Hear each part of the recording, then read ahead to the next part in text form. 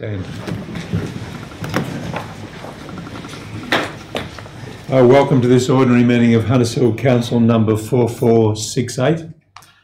Um, I'd like to acknowledge the traditional custodians of the land on which we meet and pay my respect to the elders past and present.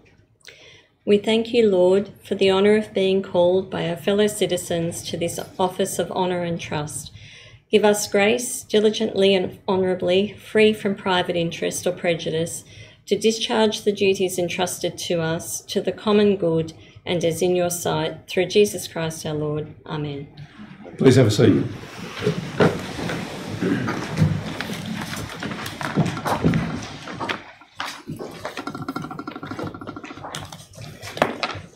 Uh, councillors, I don't think we have any apologies this evening. Are there any declarations of interest? I'll move to the confirmation of the previous minutes. Move councillor Williams, seconded councillor Krassoi. Councillors, is there any discussion on the minutes? Councillor Krassoi. Just a question if I can. Um, on, uh, item on page nine, seven point one, the question without notice, um, but over on page nine at the bottom, or about two thirds of the way down the page, Ryde Area Police Command have undertaken a community safety audit and the report noted the following, and there's, there's just a blank square there. Um, just, I know it's just submitted for our review and information, but I'd be curious. Is that from mentally inside the box?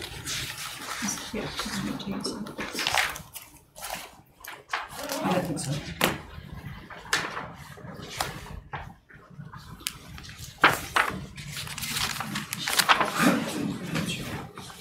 Um, Sorry, through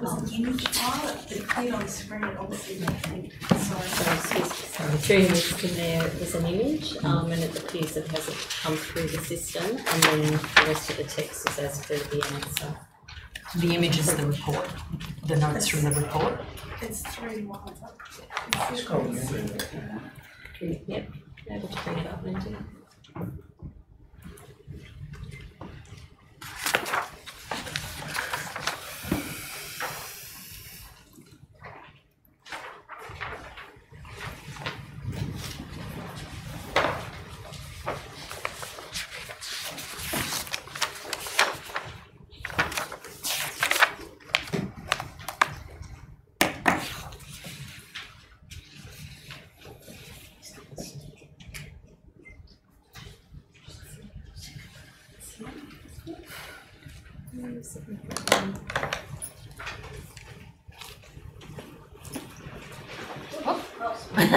Oh, that's better.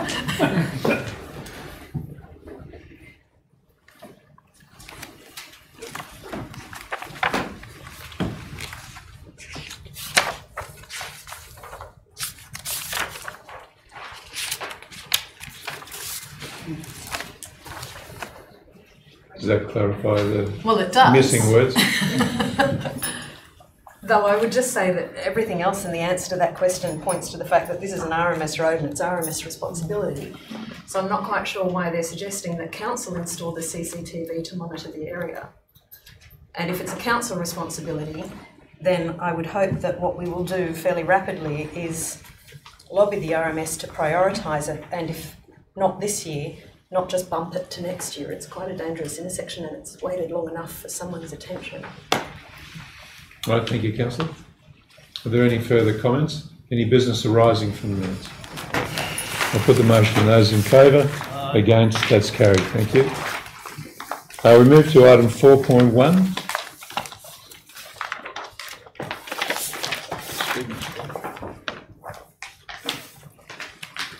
The election of the deputy mayor. Uh, I don't think they relate to that. They relate to library services. So, uh, and I'll pass it over to the general manager. Councillor, Councillor Miles.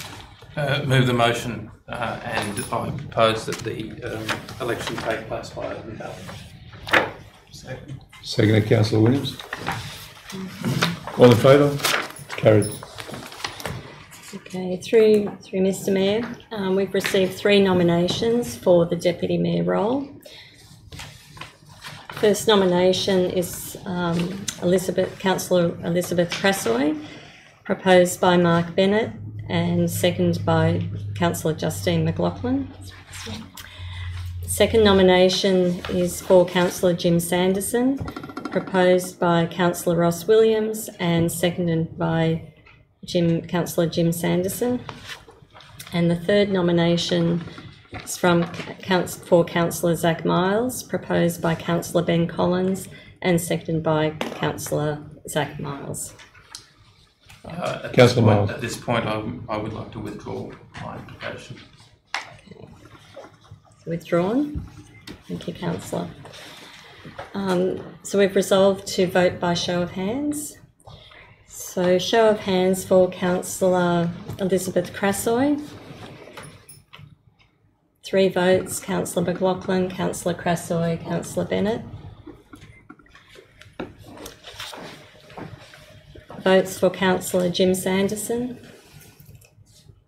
Four votes, councillor Collins, councillor Miles, councillor Williams, councillor Sanderson. Councillor Sanderson, congratulations, you're the new deputy mayor.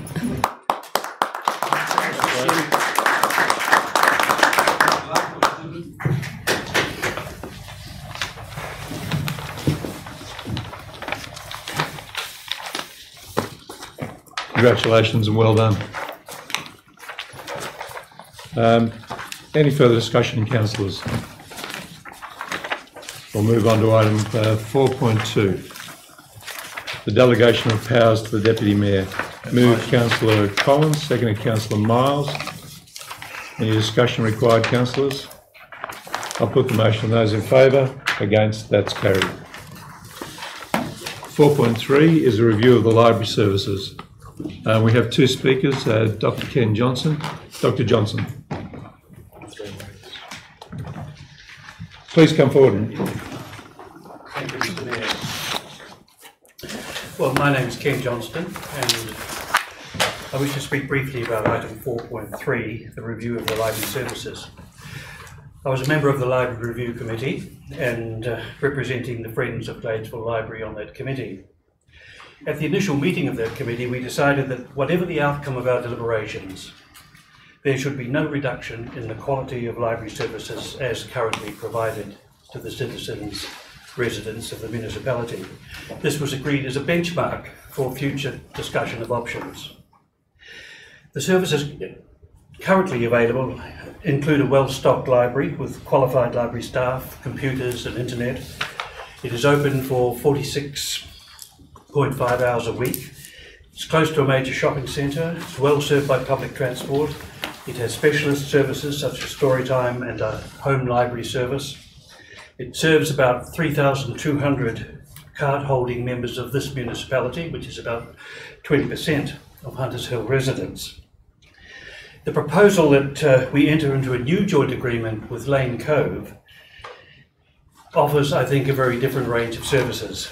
It offers a smaller range of library related activities, such as story time and school holiday programs.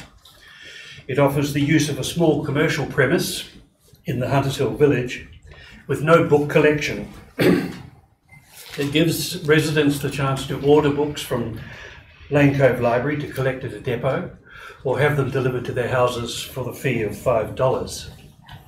The nearest physical library will be not adjacent to the municipality, but five kilometres away in uh, Lane Cove Shopping Centre. The option is cheap, it is true. It will only cost us half as much as what we currently provide for our library services, but its benefits, I would argue, are not remotely equivalent to the current arrangements that we have.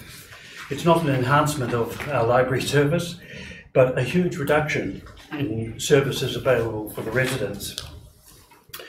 The proposers argue that despite the fact that we no longer financially contribute to Gladesville Library, we could continue to piggyback on the provisions provided by the City of Ryde.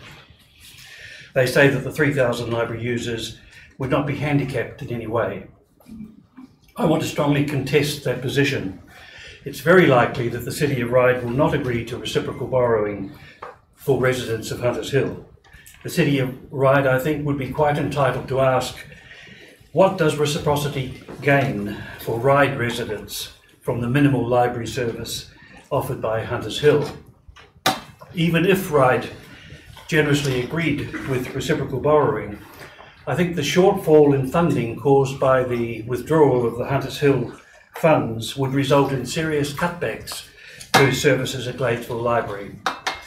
There would be reductions in staffing, reductions in the opening hours, the book collection would be smaller, and the access to the electronic Um, library. Excuse me, just move to extend. Councillor Williams, Councillor Miles, please go ahead. Thank you very much. So I, I, if we agree to this Lane Cove proposal, we will inevitably end up, I believe, with a minimalist, rather impoverished library service, which may not even be sufficiently uh, of quality to qualify for state library subsidies. The proposal, I think, fails to meet what our agreed benchmark was, that there be no reduction in the quality of the library services. As you know, Hunters Hill, one of the wealthiest areas in Sydney, would see its per capita spending on public library services sink to second lowest in New South Wales, something like $25 per capita, beaten only for the bottom rung by the rural town of Dungog. As a resident of Hunters Hill, such an outcome to me is a source of shame and embarrassment. And I think residents who support public library services in the municipality would be rightfully angry at such an outcome. And I would urge the councillors to think seriously about this proposal before agreeing to what I think would be a diminished service. Thank you. Thank you, Dr Johnson.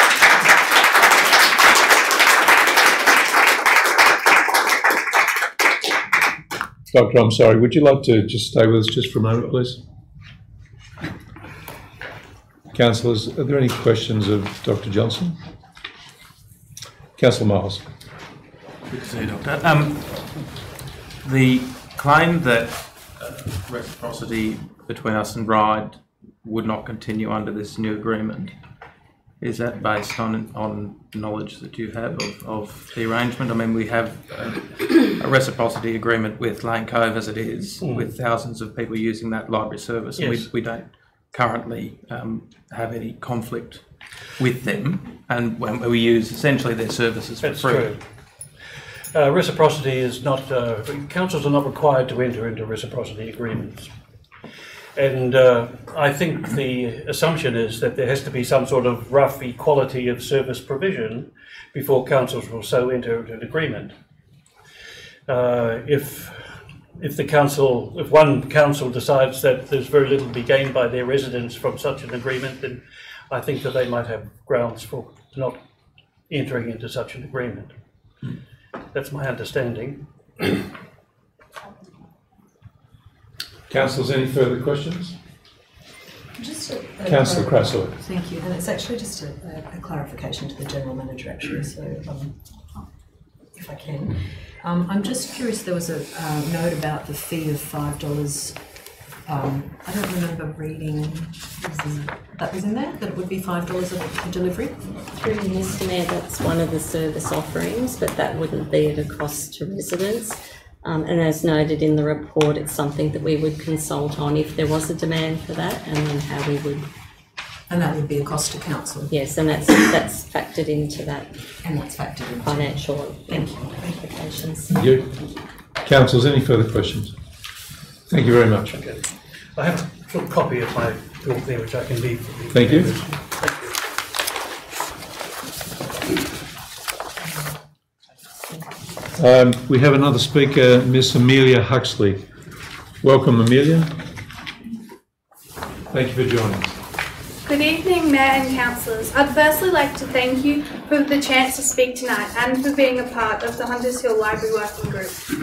My name is Amelia Huxley and I'm 13 years old in Year 7 at St Andrew's Cathedral School. I was excited to be part of the working group because I love reading and I was a library monitor at Boronia Park Public School last year.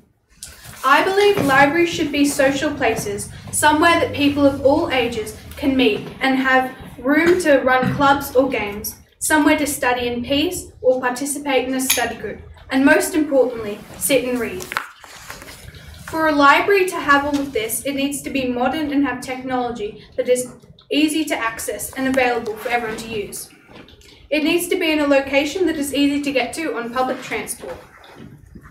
Earlier this year, I visited the Gladesville Library for the first time. It was not a very inviting place. There were not many people using the library when I was there. There were no spaces for group activities, there were no group meetings, or if there were, it was hard to tell.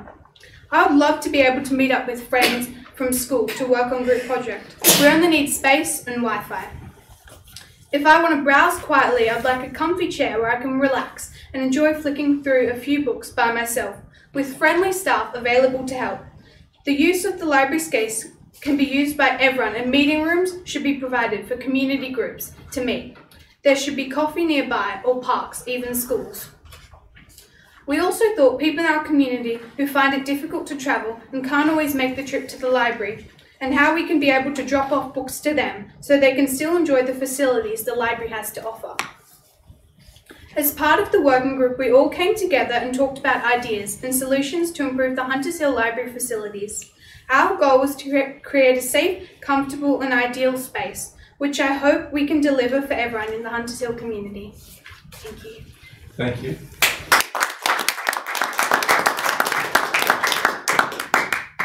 Could I ask you to come back just for a moment? We may have some questions. Councillors, are there any questions of Ms Huxley, please? Councillor Crashaw.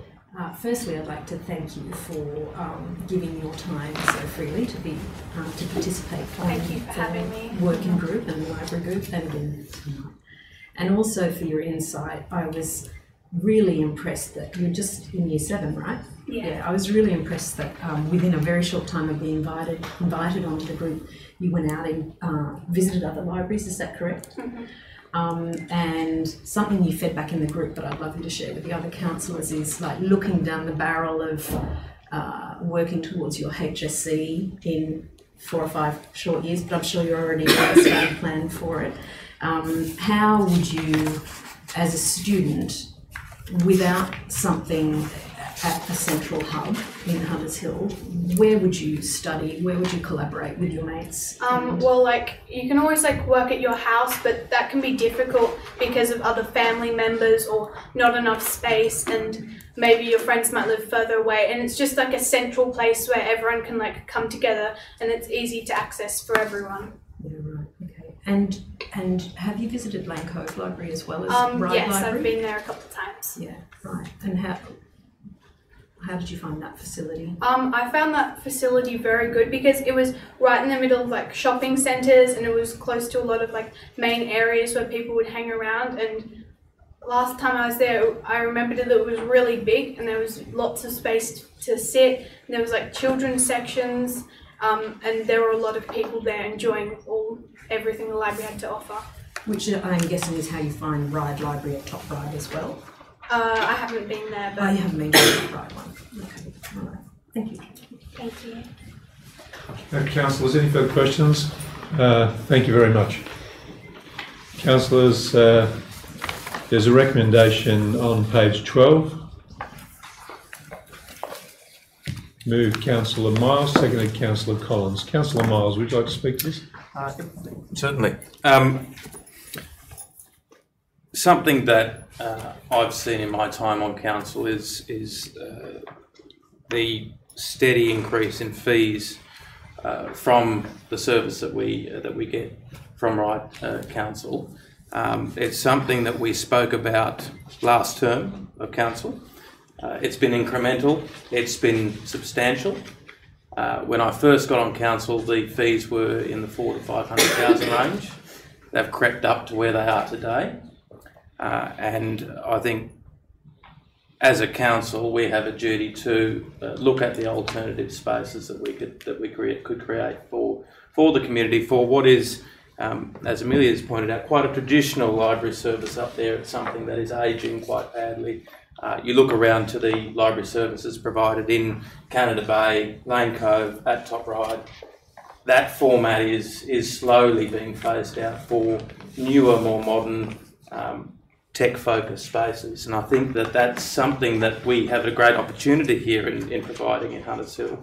Uh, it's something that certainly uh, we will have the capacity to do uh, uniquely, I think. Uh, and the fact that we're going to be able to get a library hub in the municipality, I mean, in our report, which is quite comprehensive, uh, we are one of, I think, two councils in the state that do not have a library inside the municipality.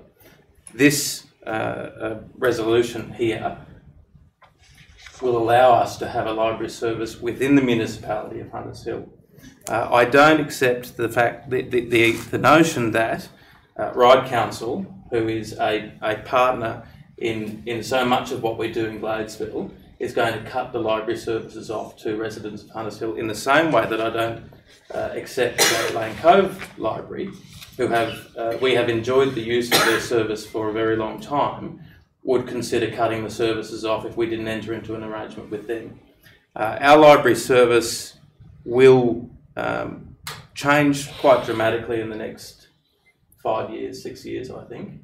Uh, the, the format of Gladesville Library as it is, uh, and I, I don't think that that facility will close, I don't think that the services will drop. What we're doing essentially is adding a library service that's non existing whilst keeping the Gladesville Library service and the Lane Cove, Li- Cove Library services alive. So this is not just a net improvement. We're, we are going to create for residents of Hunters Hill that use the library services a new facility that they don't have access to at the moment. So I, I think that this is a, a good motion that the Working Party has gone a long way to, to uh, um, you know, a position that we've come to after a very long process that, that has been quite comprehensive and the General Manager and the staff, the, uh, the committee that, that sat and, and delved into this stuff came to a decision and, and that's what's recommended here. And I think it's a good recommendation and it's going to uh, set us on a course of modernising and transitioning our library services into the sort of services that cater uh, not only for the traditional get a book out and put a book in, but to that tech and and and the future looking stuff that we have to look to doing, especially for a small council council like Hunters Hill. Thank you, councillor.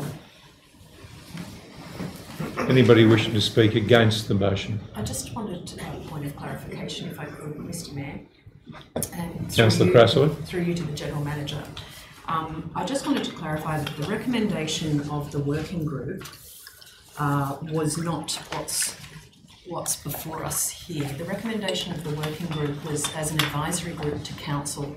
And I wondered if the General Manager, for the benefit of the councillors, just because uh, Councillor Miles did confuse it a fraction there for, for the people watching and for the benefit of the councillors. I wondered if the General Manager could read out what the recommendation of the working group was.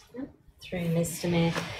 So the working party, the recommenda- um, recommendation, the working party is contained in page seventeen and eighteen. Um, but the essence of that is that the recommended and ideal model is where Hunters Hill provides its own facility in the heart of Hunters Hill and partners with another council, which was three A. And the recommendation goes on to talk about the benefits of that and, and having our own library service in our own LGA and um, and what that would potentially look like and the benefits of that. However, in the short term, um, there was acknowledgement and, and an imperative to secure continued access to a library service through a joint use agreement. And that was in recognition that the current joint use agreement with Ryde was extended last June, I believe, um, for a further 12 months. And it was to come to a conclusion in June this year, um, calendar year. However, because we were going through this process, that Ryde extended that deadline. So through the working group, it was acknowledged that in the first instance, um, the recommendation was to seek to negotiate a more favourable outcome with the City of Ryde. And there were a number of points around that that um, the working group talked about in terms of um, the re- reduction of fee, greater influence of program, outreach programs, support with grants, and um, free use of the library meeting room up to a, an agreed number of hours as part of the, the process with the working group, There was also um, desire to offer a market comparison and as such to seek an expression of interest from um, potential other partners. And Lane Cove and Canada Bay were seen to be natural partners given proximity. And therefore, um, an expression of interest was sent to both of those councils in line with that, that direction out of the working group. It was acknowledged that whilst the preferred outcome would be a new joint use agreement with the City of Ryde on more favourable terms, if there is a more significant benefit to the Hunters Hill community, in particular financial delivered under option two, then serious consideration needs to be given in, to entering into an agreement with another council at the expiry of this agreement. And that's what led to the EOI process. Does that answer your question, councillor? It was more to clarify the point, but yes, thank you. Uh, anybody wishing to speak against the recommendation? For the recommendation? Councillor Williams. Yes, Mr Mayor. Um, I'm aware that this is quite a uh, important issue in our community and will uh, raise a whole range of emotions and feelings in relation to something as important as a library. It is the touchstone in a community. The current library uh, provision uh, is on the periphery of Hunters Hill and is not well serviced by transport. It also, as we've heard, um, has very old elements associated with it. And when this process, I wasn't on the, the committee, but when this process first started, uh, a few, I think most of the councillors visited a place called Rhodes Connection, or the Connection, which to me encapsulated where library services or community focused library processes was heading.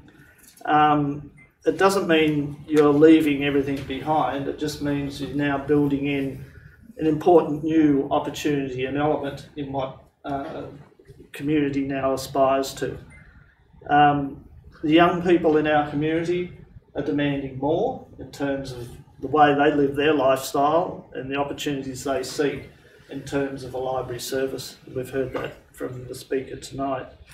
From my own personal viewpoint, my daughter's doing the HSC at the moment, and she goes to the library not to borrow books, but a space for quiet, a space where her, some of her, her colleagues or some of her, her friends uh, also gather and inspire each other to study. It's a meeting place, a place for them to engage, a place for them to learn and, and to advance their, their studies. And that's a very important use, use of libraries these days, along with, as we've heard, opportunity to have meetings, etc. I think it's important, and one thing I don't think is here that, that is very important in terms of more traditional library environment, and that's to have a section or an area that caters for, for young children. Um, I think whatever we do, we need to have a young child, young children's collection. I found the only way kids really relate, young children really relate to, to books is to be able to pick them up, touch them, feel them. And I found that with my kids, and, and that was one of the real benefits of using uh, the library system, was to give them a, a wide, broad cross section of, um, of opportunity. And I think in whatever we do, uh, I wouldn't like to see us lose that element for the, the preschoolers and the really young kids in our community to physically touch and, and, and, I don't think that would add much cost to what we're talking about. But having um, uh, looked at what is an exceptional report provided by the General Manager, or two reports, one the context and the other being the, uh, the direction uh, is, I, am confident that uh, staff and, and the, uh, the committee um, have uh, come up with what is a workable and a very useful outcome for our community. From all the information I've got here, it won't diminish our library services. The, the, the objective is to at least maintain or improve the outcomes for our community and library services. So um, I believe from looking at the documentation and, and, and uh, listening to uh, to the information that's been provided over the last uh, 12 months or so, that, that, I'd be confident this arrangement will give our community access to a, a modern, um, advanced library, uh, one that would uh, locally um, engage with the community through a range of services currently provided and possibly new services to provide provide a meeting place for our, our young people and for our old people. And I'm sure um, access to the main collection uh, would be facilitated for those that are older and not uh, necessarily computer literate. So um, I think this is a, a step forward for us. Um, I don't think in the long term the Gladesville uh, facility will survive because there's a lot of pressure in Gladesville for redevelopment, and as I understand it, the council at some stage, the Ryde Council at some stage, may be looking to redevelop that whole parcel of land. So I think it's timely for us uh, to move forward into the future and to provide our community with the best option to not only access traditional book services, but also to build on the benefits that come from a range of uh, range of new opportunities. And, and I do um, refer to that Ryde connection, uh, sorry, the Rhodes connection as being a good example of where library services are going, um, both maintaining access to traditional books, but more importantly, providing opportunity to, to future information in whatever form is provided. Thank you, Mr Mayor. Thank you, councillor. Anybody wishing to speak against? For the recommendation? Councillor Sanderson. Thank you, Mr Mayor. Uh, I'll start by thanking Amelia for uh, giving her vision for the future. Uh, I was a little bit younger than Amelia when I first went to the uh, Hunters Hill, uh, Ryde, or Ryde Hunters Library as it, as it was known at that time. At that point in time, I was a student at Hunters Hill Primary School. Uh, so I do deeply understand the connection that this community has with that library, uh, and I sympathise with some of the views that have been given tonight. However, uh, I think, uh, as others have explained, uh, we're not talking about cutting that service. It will continue. Uh, I don't think it is viable in any way for uh, uh, Ryde to, to decide to exclude our residents from that library. It will continue. Um, the other thing we've got to look at is that over the, those many years, uh, this council has contributed a huge amount for that library. In more recent years, I uh, have some figures here that come out of the, those records. Uh, at the present time, in terms of the number of uh, uh, people that are actually members of the, the, the libraries in uh, in the in uh, the city of Ryde, uh, they have uh, 50,994 uh, residents who are members of that library at a cost of a bit, about 5.7 million. That means cost per member is about uh, $112. In our case, we've got 3,228 members. This, this is on the figures given in, in the, the papers at a cost of uh, 723,000 per annum.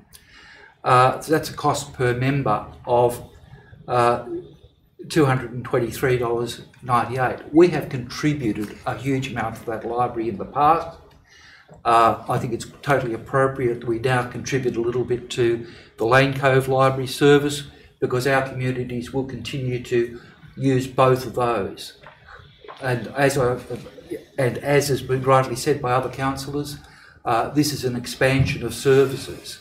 It's, it's, a, it's a visionary move into the, into the future. Uh, I'd, uh, and I, I mean, I, and, and council has taken quite some care uh, with this. Uh, th- I think this process kicked off. I think we're all aware of a, as, as a council of the cost to this council of, of the library service. I think I, I, I was actually brought a, um, a motion to council back in May 2018 that's, that commenced this process. And that, that, uh, that uh, was resolved unanimously by council to, to look into things. Now, fortunately, you know, we didn't react or, or, or do think, things too quickly. We've had plenty of time to consider, and I think now is the right time for us to make this choice. Uh, and I, I think I can assure all people who have expressed concern that uh, it will be the City of Ryde that will ultimately decide to develop that site uh, until such time that service will continue. It will be accessible to Hunters Hill. We can better deploy our resources. One of the other things about the saving of money, if there was a weakness to this motion or the recommendation, uh, the weak, the, the weakness might be perceived is we, I don't think anyone fully understands what services will be provided at this new location that will be opened up. But that in itself is a strength. Because uh, that, that is, that, if you'll allow me to finish, that in itself is a strength. Because of the funds that we are saving, this gives us, I, I mean, I would have liked to have had the opportunity to consult with, with, if there'd been more time, with the community to a far greater depth. We haven't had that opportunity, but as I say, this is a strength. We are saving a great deal of funds. This gives us the opportunity to be able to consult with people. I have no problem whatsoever with putting additional funds into that resource to make it develop in the direction that this community wants. That is the strength of this process. The community can uh, guide us in what we provide in, in, in this, uh, in the new service. Thank you, councillor. Anybody wishing to speak against the motion? Put the motion. Anybody for the mo- for the recommendation? You're not putting the motion? Um, not just yet. Um, councillor's got a right of reply. Okay. So anybody else wishing to speak against? Anybody for?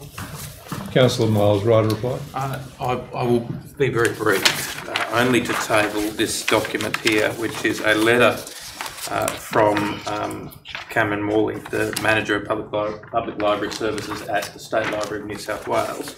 I won't go into the entire document, but I will read that, this, that he states the State Library advises that the best outcome for Hunters Hill residents will be to have a conveniently located and appropriately sized library building within the Hunters Hill LGA, partnering with Neighbour Council for library system collection procurement along with other functions which would be recommended.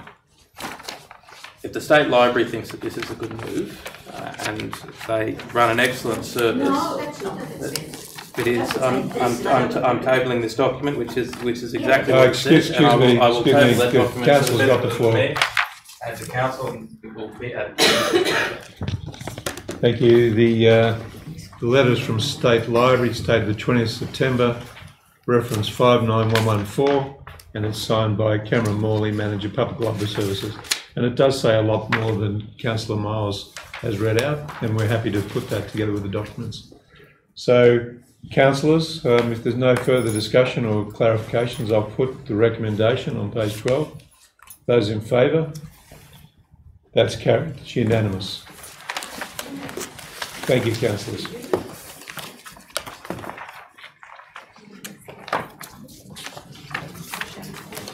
We move on to four point four. Item four point four, I believe we have a, we have our consultant with us tonight. Welcome, uh, Mr Stephen Gray, thank you for coming tonight, from GRC Hydro.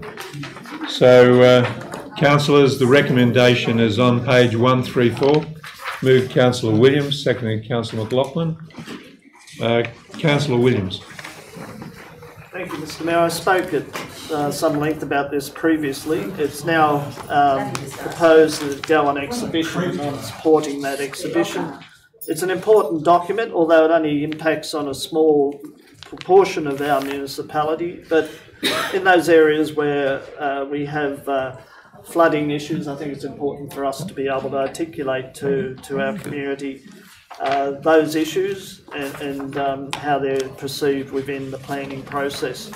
So uh, I commend uh, the document um, to go on public exhibition.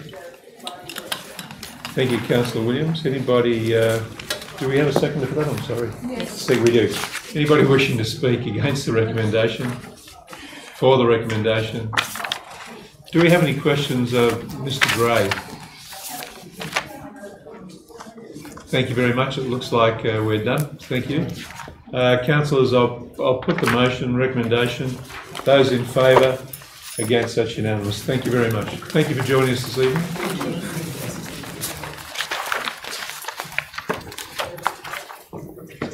Move on to item four point five, Property Advisory Committee Charter and Membership. Move councillor Miles, Uh, with an amendment, if you please. Okay. What's your amendment? I would like to add a third point to the recommendation that uh, the $250,000 be allocated in the 2019-2020 budget uh, for property development consultancies funded internally through the establishment of a property development reserve with initial funding of $250,000 transferred from council's unrestricted cash. Okay, thank you. Just give us a moment and we'll, um, type that in. Councillors, do you, do you, uh, do you feel you understand the uh, amendment that's read out? Do I have a second for that amendment? Councillor Cresswell. Just one moment, we'll uh, get it up on the screen.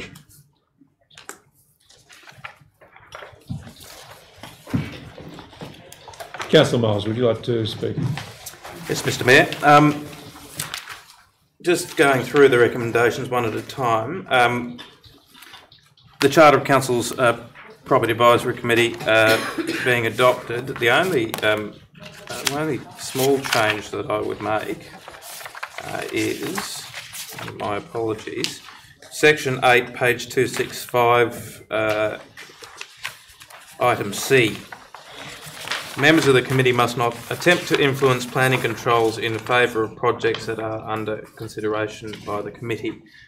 I would, uh, I would probably put committee members, uh, just in the understanding that councillors will have to uh, participate in planning decisions uh, to that, that will influence that that um, I'll, I'll get some, some notes from the general manager on this, but given that councillors will, will most likely be making decisions relating to planning uh, in and around the areas that in the adoption of LEPs and DCPs and the LSPS uh, that affect that, I don't want for our position as councillors on the committee to be in conflict with uh, the draft. Could you bring us back to the words again? Point to the words again, please. so members of the committee must not attempt to, I would say perhaps it could be amended to non-council members of the committee must not attempt to influence planning controls in favour of projects that are under consideration by the committee. Happy to take some advice from the general manager on that, but uh, All right, just give us a moment. Yeah, that's fine.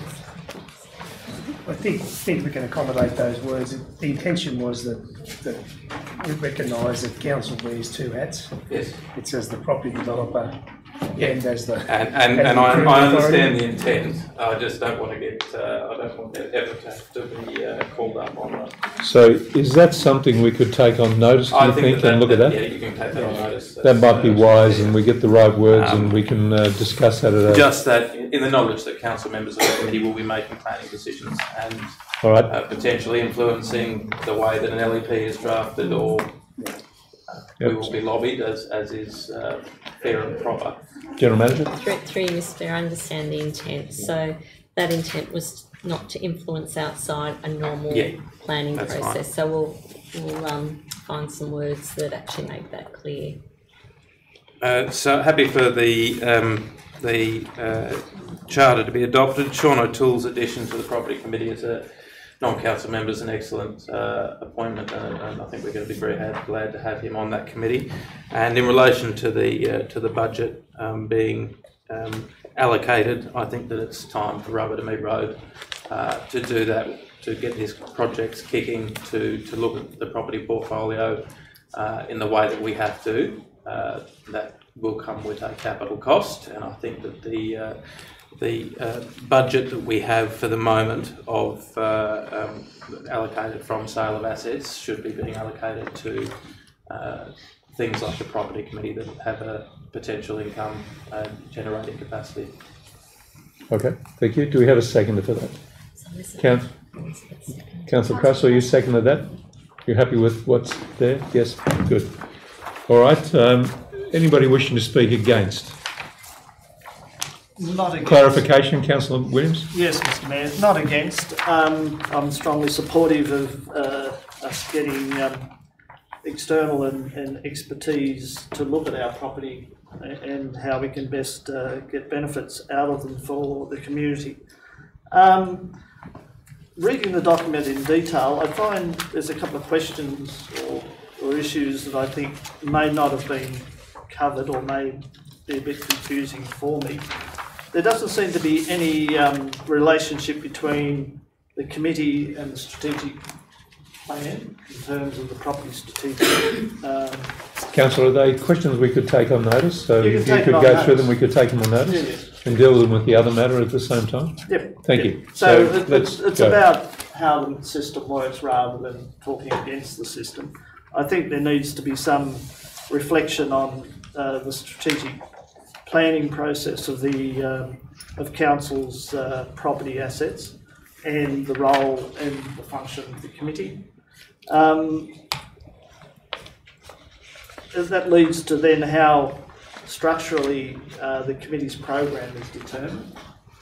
Um, 4.3 I found a bit intriguing um, because it deals with um, what I find a bit unusual that uh, a committee um, recommends its own members rather than council uh, doing that, that role. Um, normally, uh, council uh, do the um, do the process. Uh, there, there, there's issues in my mind in relation to the way it's worded there.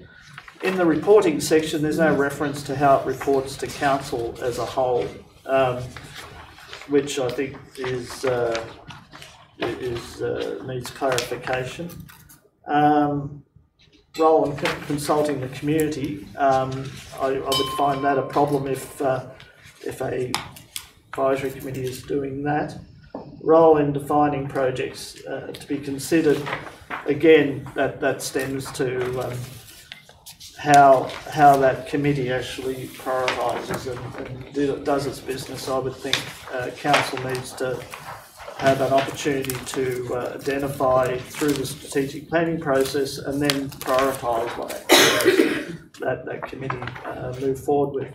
But they're just some points that, that I'm unclear about. The overall thrust of what is, is being intended here, I, I, I commend, and it's something that uh, will uh, get great benefits for our community through better utilisation, uh, better consideration of the assets which council holds.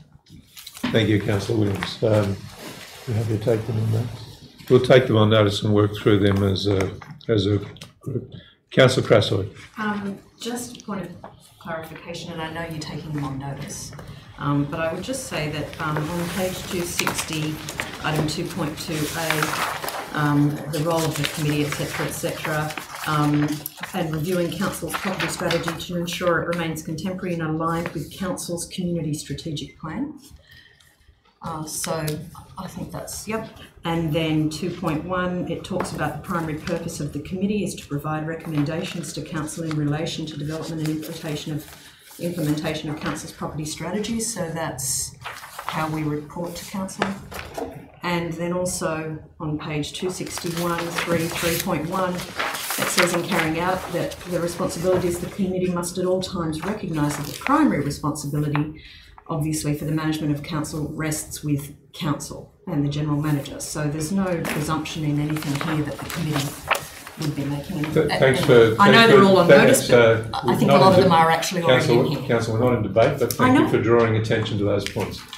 Appreciate it. Thank you. Um, is there anybody wishing to speak against the amended motion? The motion. Anybody wish to speak for?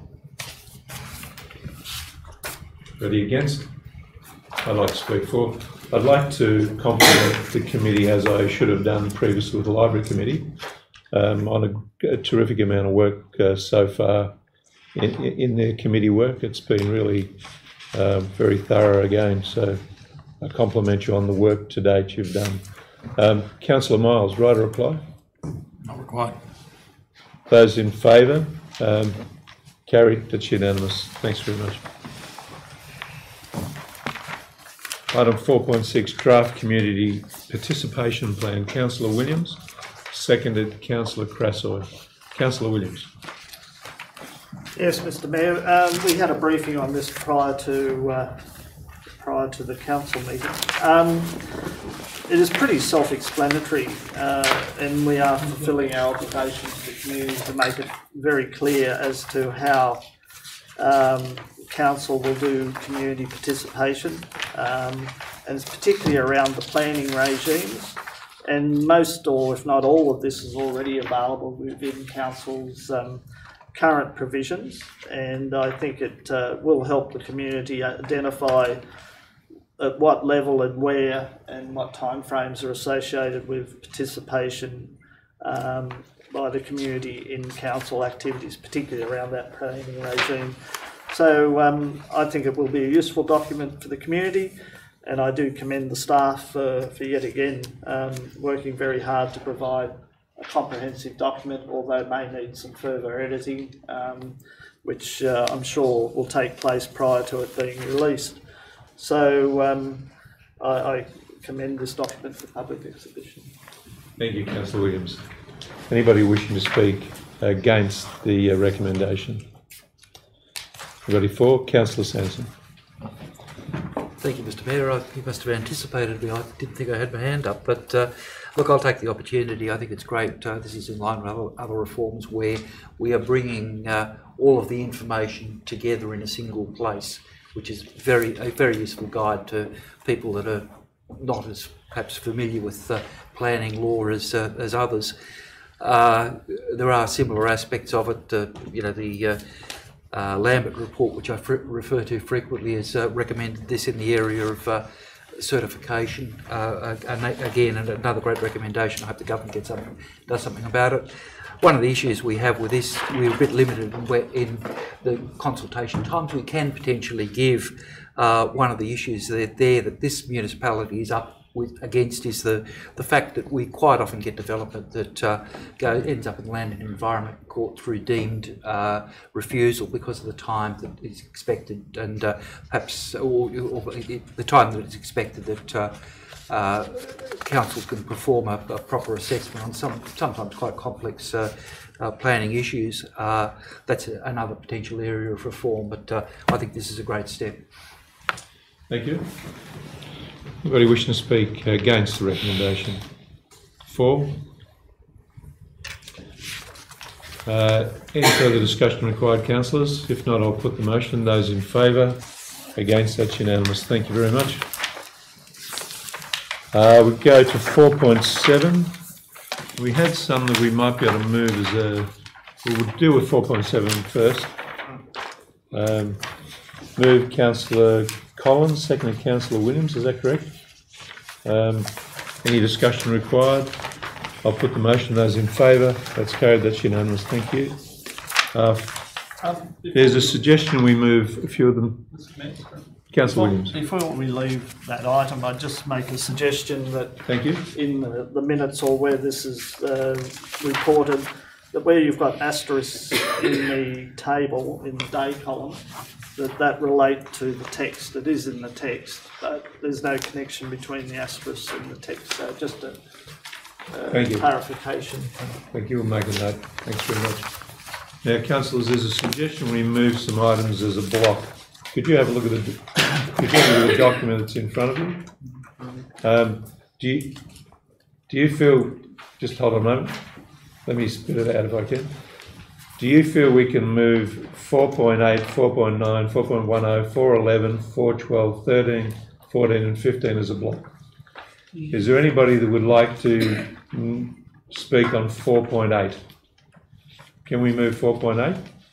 Not, I'm not doing it formally. 4.8 can be moved. 4.9, anybody wish to speak on 4.9? Yes. 4.10? We could move that. 4.11? No. 4.12? No. 4.13? No. 4.14? Yes. 4.15? No.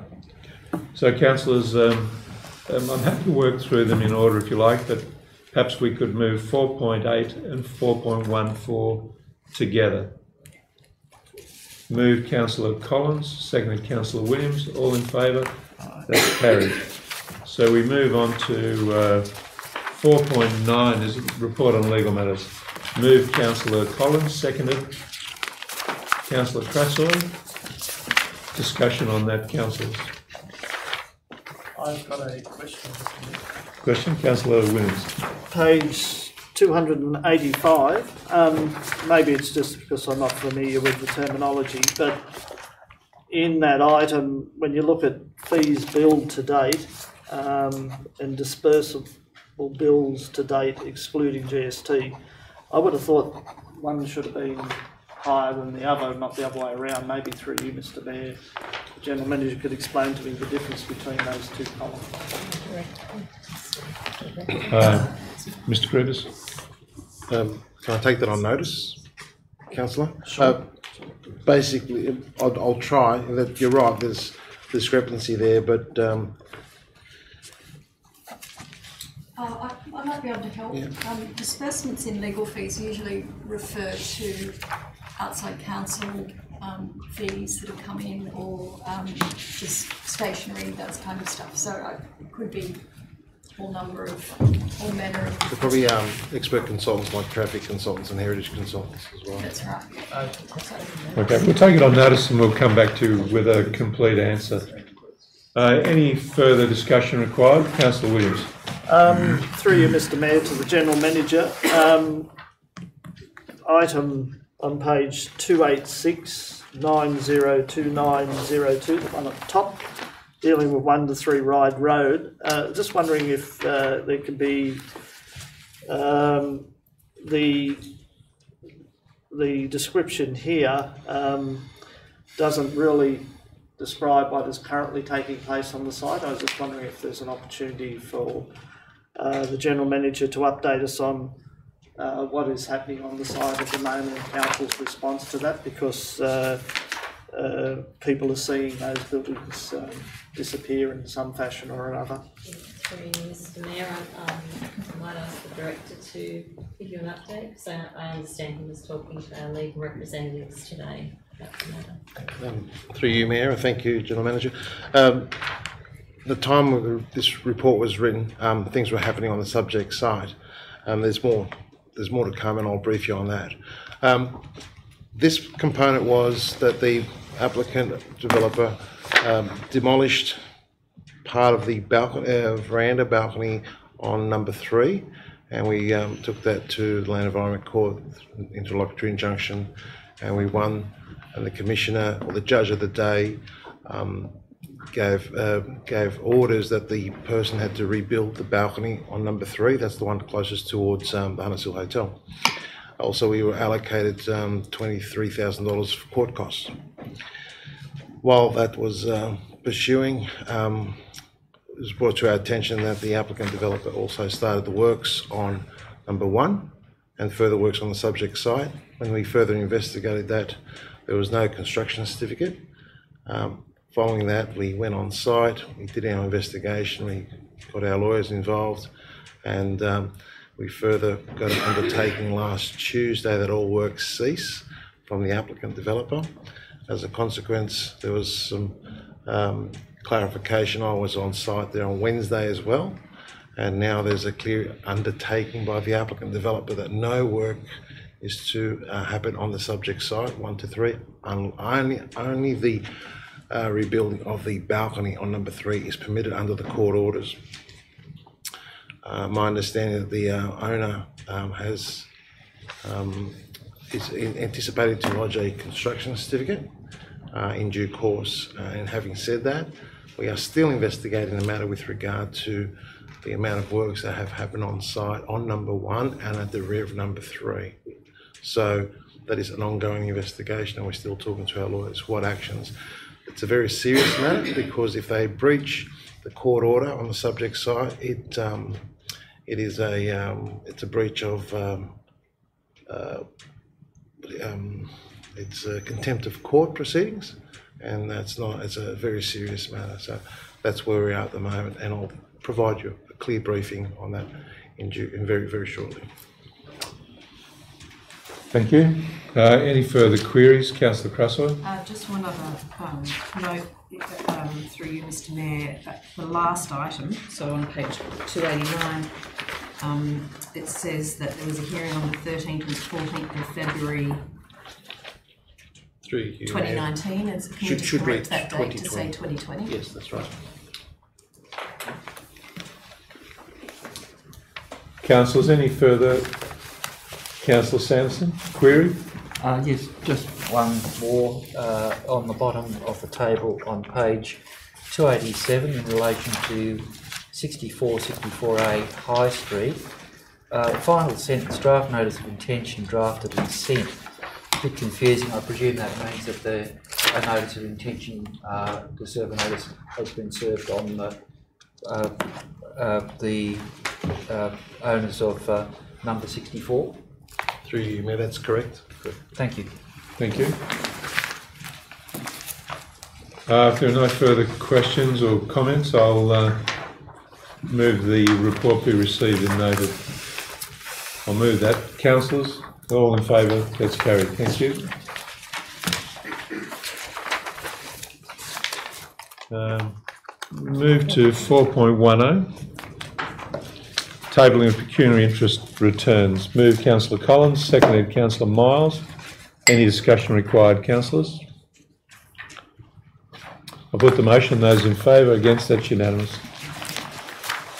4.11. The minutes of the Gladesville Main Street Committee. Move councillor Krassoi, seconded councillor McLaughlin. Councillor Krassoi, would you like to speak to that? Thanks, Mr Mayor. Um, I'd actually, but on, on both of these sets of minutes, I, I wonder if, um, council would consider, um, deferring, uh, each of them reports to the next meeting. This, uh, when these papers came out was the first time I had seen the minutes and the members of these committees haven't seen them yet. I have quite a few corrections to make in them, um, which I think would be laborious to do here in council. So you're moving that we defer this item 4.11 completely to the next meeting? Okay, so all in favour, councillors? That's carried. Thank you, councillor Krassoi. The next item we've got is 4.12, the minutes of the Hunters Hill Main Street Committee, 28th of August. Move councillor Krassoi, seconded councillor McLaughlin again. Is- To defer. To defer. To defer? For the next meeting. Move to defer. We, um, sorry, Mr Mayor, the, there are recommendations here. Is that going to affect the recommendations at all? Probably not. Allocation of fund, public science for public signage. Councillor Krassoi? No, that's why I asked for it. No, not concerned about anything there? Um, I'll speak to that. It's, yeah. Okay. Any further queries? I'll put, I'll put the recommendation, those, uh, the recommendation is to defer. All in favour? That's unanimous, thank you. Four point one three. Minutes of the Hunters Hill Le Vésinet Friendship Committee. Move councillor Williams, seconded councillor Miles. Councillor Williams, anything you'd like to? Councillor Williams. Yes, Mr Mayor, there's a couple of issues here that I think council needs to be um, uh, aware of. Um, The obvious one is the great success which the uh, pre, uh, the um, just finished program was, and again, I, I commend it to anybody in our municipalities to be engaged and be involved because it is a significant change factor in these these children's lives. They they, they change dramatically, and the um, responsibility and, and the um, growth which you see during a very short period of six weeks multiplied by two, another six weeks when they're back in the other families, and they make lifetime friends out of it. So I commend the program uh, completely as, as something that uh, our youth should be involved in. They're currently um, organising and pairing uh, students, and there's quite a large number of students for this year's program, which will kick off when the, the students leave in December for their six-week stay in Europe. One, one um, concerning issue that, that came out of last meeting, which I, I find a bit perplexing, is that the Education Department has now uh, advised that state schools will not be involved in this program anymore. Um, and quite bizarrely, uh, we're now prohibited from using the word exchange. So the committee's looking to call the program the Student Cultural Program. And I just can't for the life of me understand uh, why a state entity would um, preclude its students from what is clearly a very valuable um, program for, for students. And um, it, it, it, I, I'm just, I just don't know why they're doing that. But as we go forward, unfortunately, state schools are now excluded from the program. Um, I just thought councillors needed to be aware of that, what I would call rather bizarre um, position taken by the Department of Education. It's nothing against our program as such, but it's a policy position and decision by the state uh, agency or the government. Um, uh, but it, I, I'm at a loss as to to how they came to that conclusion and without considering the needs of students or the opportunity for students to participate in these type of programs.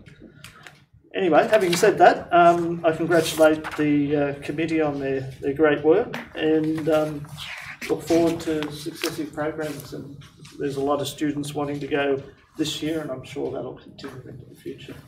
Thank you, Councillor Williams. Um, I attended the Department of Education with the Vice President of Louisiana, and the advice we got was uh, under their current rules, students need to study for a full term, something 11 weeks.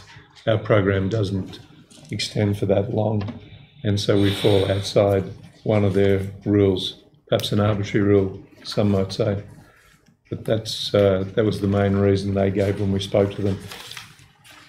Requiring us to take out the word exchange still surprises me that they won't allow us to use a word, but it's a word that they seem to have um, um,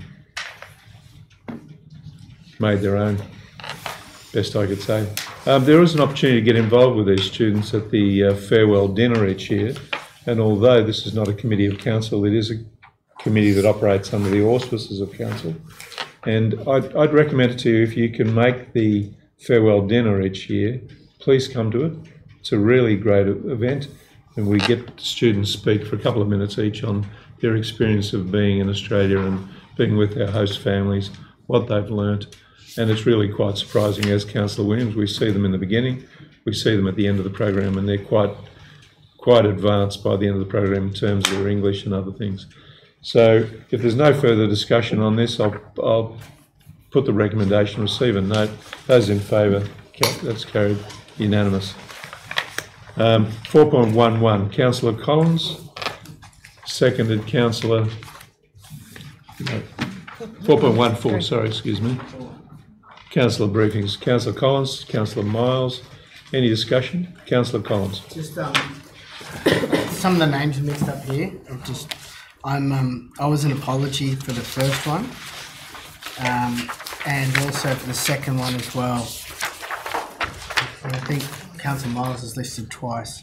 I, I was not an apology, so I may have confused Councillor Collins and I. Oh. All right, we'll make that amendment, thank you. Any discussion required? Councillor Williams. Uh, I'll just um, make the observation that uh, we're slipping back to providing minimal information as a result of those uh, briefings. We did get to a stage where there was some more uh, information available to the community as to what was discussed. We're now back to uh, one-liners and whatever, and I think uh, there's an opportunity for us to communicate some more detail to our community as to what those deliberations or discussions, not discussions, those uh, briefings were about.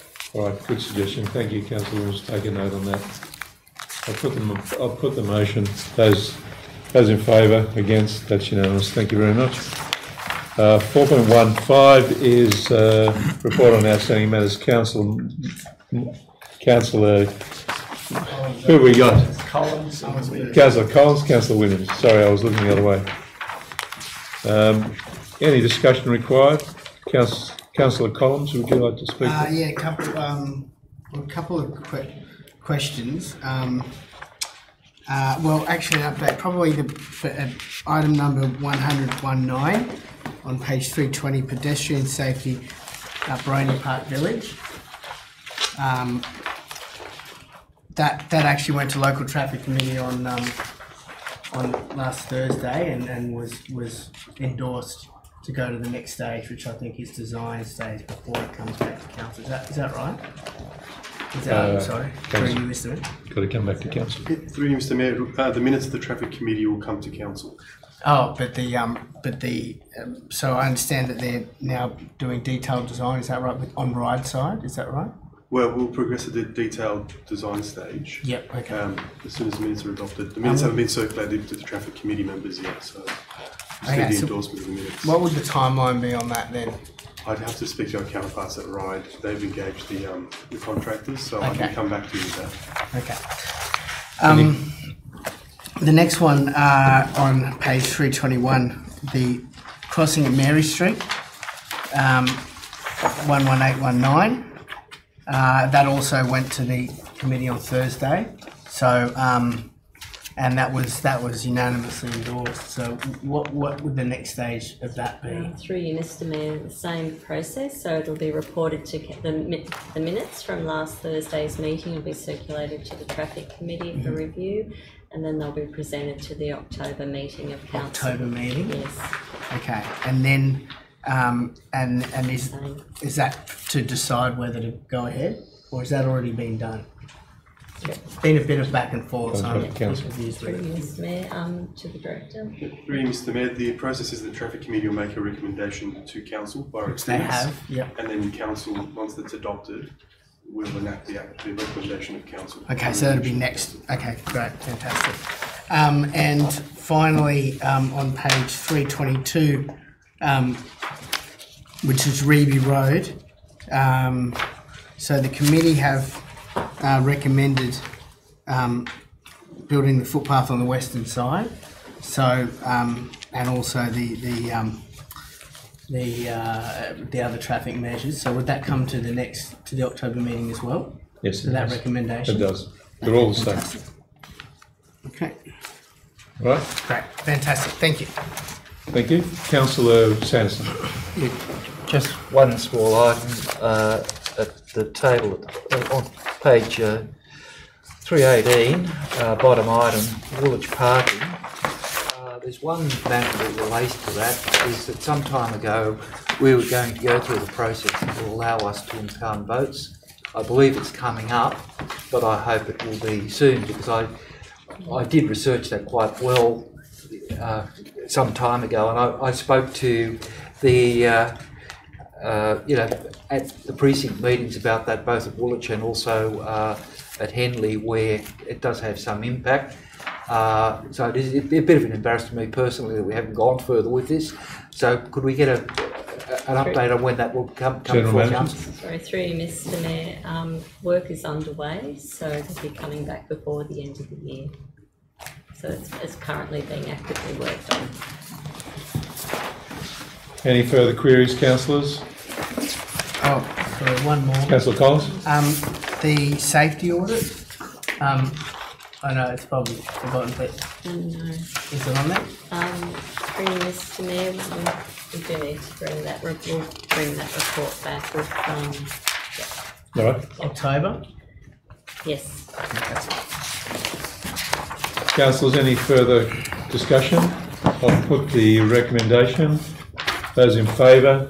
Against? That's unanimous. Thank you. Any further? Any further business, councillors? Um, just before, does anybody have any questions without notice? Before you pass them up, if I could uh, thank councillor Collins for his work as uh, deputy mayor over the last 12 months.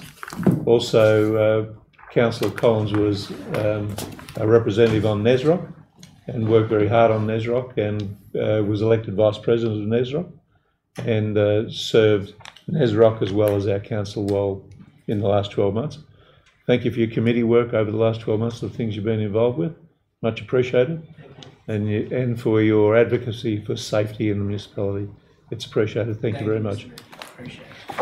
Um, any further discussion? Oh, yes. Um, importantly, it's, uh, it's the last night for uh, one of my favourite people, um, Wendy McGurk. So um, it's been a pleasure to work with you. Um, I'm sorry that you won't be with us in the future. I hope we can still call on you. Please leave your mobile number with us. Um, and it's been an absolute pleasure, a delight to work with. Thank you very much. Councillors, anybody wishing to comment? Councillor Cresswell. I would just like to wish Wendy, um, I haven't been on council very long, but I've been very fortunate to have your support and patience, and I would just like to wish you very well in your retirement, Wendy. To you and your partner, may your travels take you far. Thank you very much. Yeah, I guess, I guess that, so we've been seven years or less, isn't it? It's been, it's been really wonderful working with you and you've always been very diligent and can always count on you whenever we needed to, so do leave your mobile. Thank you, councillors. Don't leave your mobile. Councillor Williams. Yes, I also like to extend my uh, thank yous for your service to council over many years and also wish you a, a most uh, enjoyable and happy retirement. Um, I'd just like to sort of make an observation of your um, resilience and, and your agility in the role that you've taken by attending the council meetings and conducting our minutes process live and also on a program that probably isn't as friendly as people would like. So thank you for taking on that challenge and all the best in your retirement. All those in favour? That's unanimous. Thank you very much. Uh,